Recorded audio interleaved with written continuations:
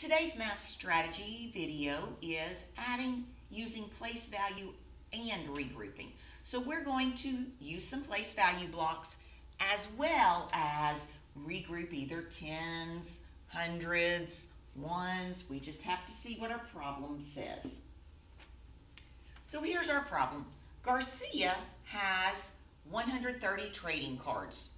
Mark has 280 trading cards. How many trading cards do Garcia and Mark have together? So my problem says Garcia has 130 trading cards.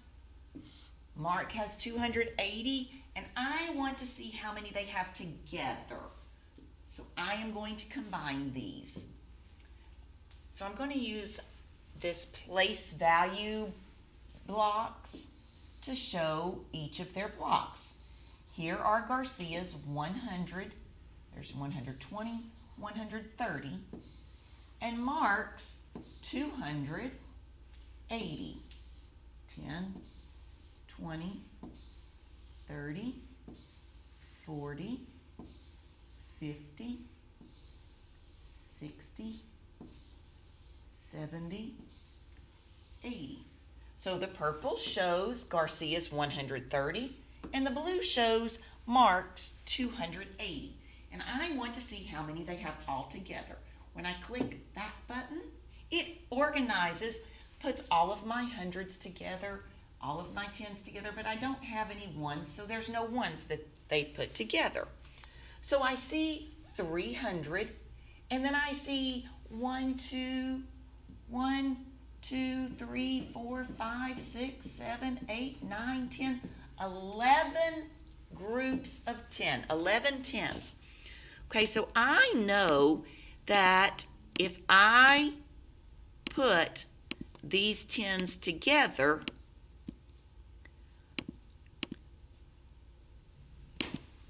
that I can make another set of 100.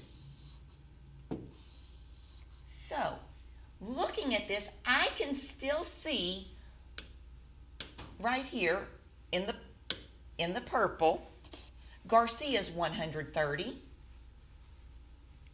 And in the blue, Mark's 280, which gives me the sum of 100, 200, 300, 400, 410.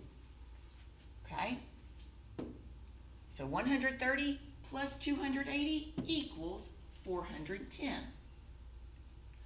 Another way we can do this is by doing the partial sums, where when we stack our numbers up, we have no ones in both numbers, so 0 plus 0 is 0.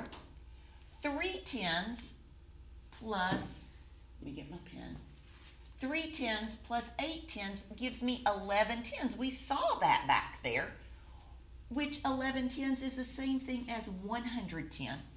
Then 100 plus 200 is 300. When we add all of those up, we get our sum of 410. We can also do the standard algorithm, and we know that 3 tens plus 8 tens is 11 tens, or 1 10 and 1 100. So I'm going to put my 100 up here for my 11 tens.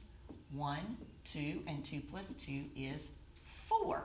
So that's just a few other ways that you can add when you're regrouping. Using the place value blocks, using your hundreds, tens, and ones chart, using partial sums, whichever way works the best for you